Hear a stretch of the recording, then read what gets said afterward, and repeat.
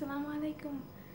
Peace and blessings, everybody. I, wow, I'm here. I'm here. I'm here. Oh my God.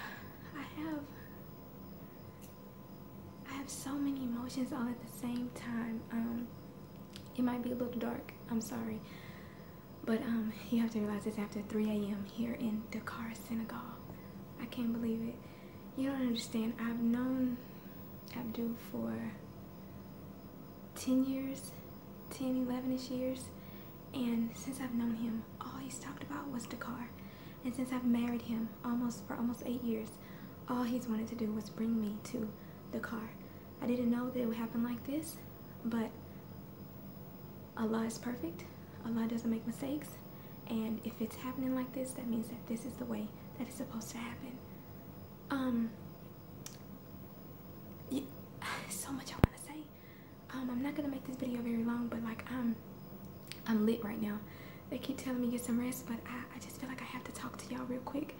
I have to talk to the people I know. I have to talk to the people that I don't know. I have to talk to family. I have to talk to friends. I have to talk to strangers because I, I just feel like I have to. You have to understand that I operate on my feelings. I operate on my emotions. My mom, um, she would always tell me, you know, uh, she would tell me, uh, and I'm paraphrasing, that I go by my heart and I don't really go by my mind. And it's true, I do. I go off of my heart. So I'm getting on camera and I'm swallowing my fear. Um, and I'm sharing myself with y'all because I feel like I'm supposed to be doing this, you know? I don't know if you ever had just a feeling and you don't really know how to explain it and you don't really know why, but I feel like I'm supposed to be doing this and I don't know what's gonna happen in I don't know what's gonna happen in a day or a week or a year or 10 years. I have no idea. So this is so scary to just be talking to y'all and sharing my life with people that I know and that I don't know as this is unfolding. But like I said, I feel like I'm supposed to be doing this. Um, all my husband talked about was taking me to Senegal, and I'm here, y'all. I'm in Senegal right now. I'm standing here, and I think it's so beautiful that I am here, and it's while his soul is still free. Um, by that I mean his body has not been buried. Um, and when a person passes away, before their body is nestled into the earth, their soul, their spirit is still free. So the belief is that he can still see me, he can still hear me, he can still see everything, he can still hear everything. And my husband wanted to go to Paris. And my husband wanted to with me to Senegal. And if Allah has allowed his soul to still be free and see me and hear me, then that means that he has come all this way with me. That means that my husband's presence is right here in this room right now. I just can't see him and I can't hear him. But inshallah, he can see me and he can hear me. And it means so much to me.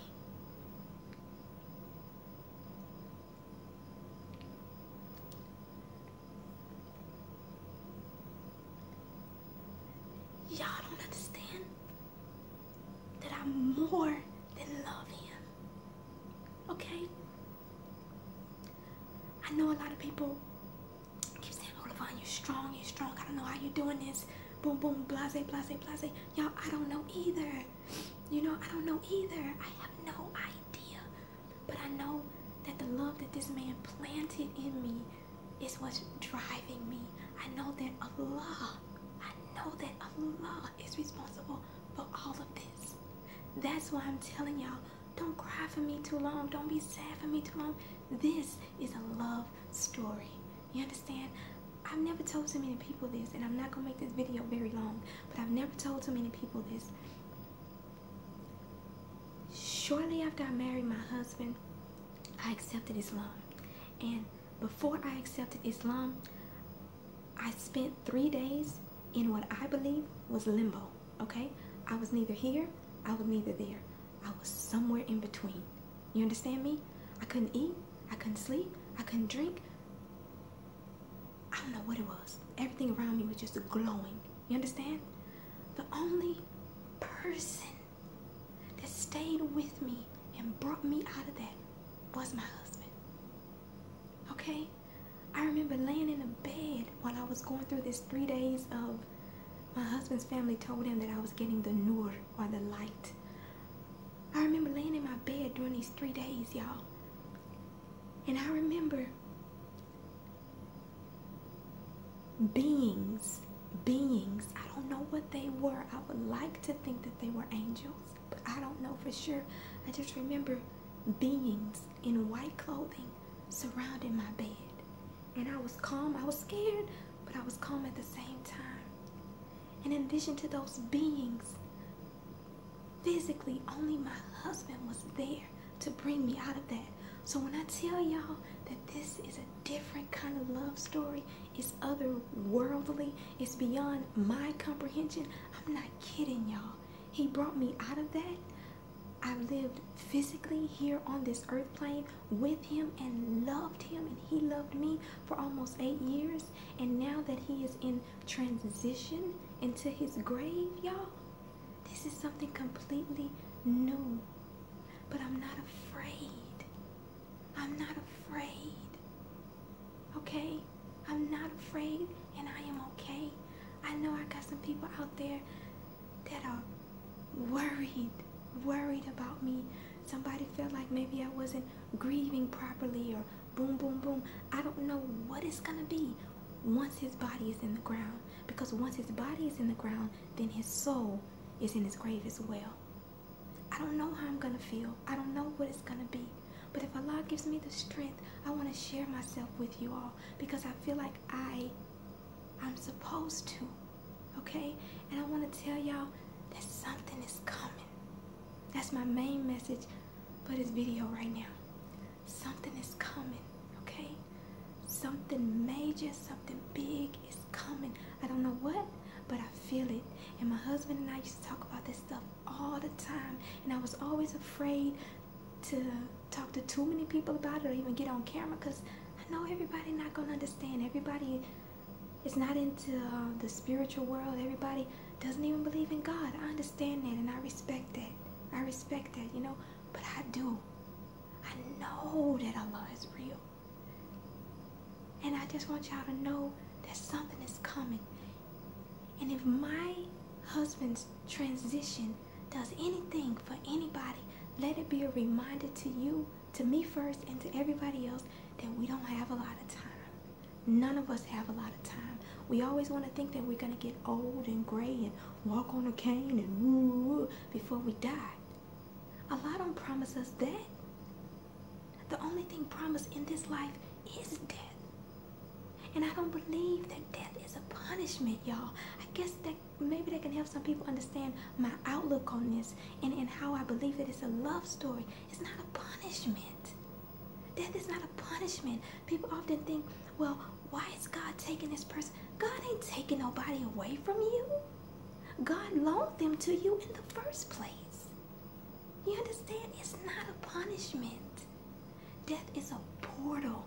It's a gateway we're here on earth only for a temporary amount of time, and we have to go back to the source from which we came. And death is that portal back to the source. So all we can do is try to live our life the way we're supposed to live our life, so that when our personal portal opens, we won't be scared to walk through.